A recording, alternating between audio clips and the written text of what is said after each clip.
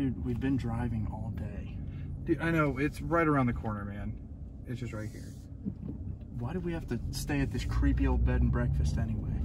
Everything around here was booked for Canada Day, for whatever reason. Canada Day? Yeah, I guess it's huge around here. Are you sure this is it? Yeah, this is it, man.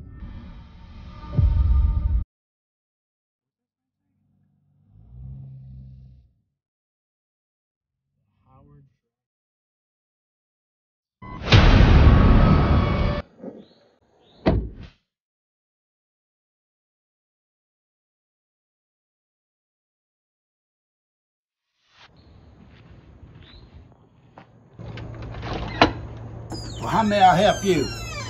Yes, we have a reservation here tonight. Well, I'm sorry, but I'm all full.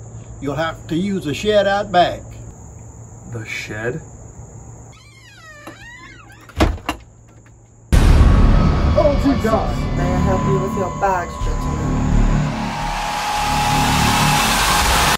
I don't like this. I don't like this. I mean, he seemed nice enough, man.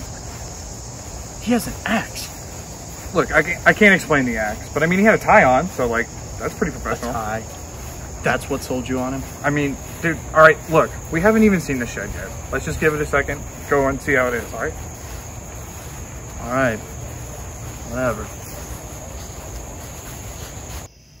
Man, that dance was a lot of fun, I told you, dude. Yeah, I mean, I, I kind of didn't expect it to be, but uh, at Yeah. least we got to get drunk. And, and the shed's not that bad, man. Like, come on. It could be worse.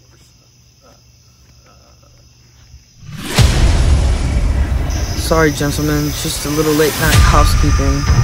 Why do you have a line on your shoulder? Why does he still have an axe? Uh, Bro, where did he go? He was just right here. I don't know. But I, I don't either. I'm done with this. Let's just get our stuff and let's get out of here. Hell no.